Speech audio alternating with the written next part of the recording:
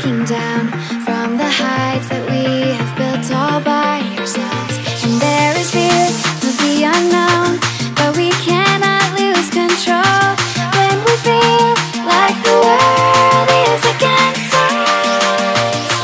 We're trying to find ourselves without the defining words. We can no longer hold on to. Let's face it, this is not the worst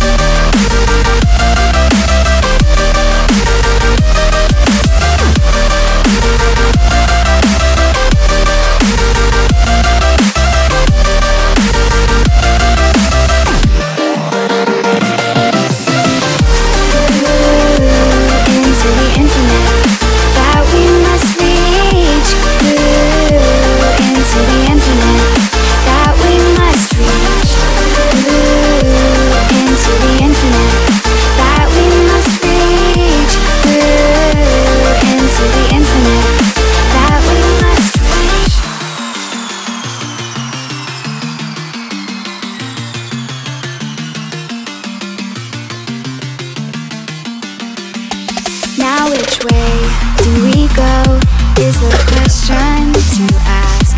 There are so many choices that it's hard not to look past.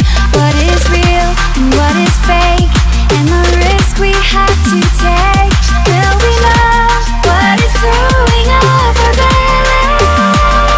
We're trying to find ourselves without the defining words.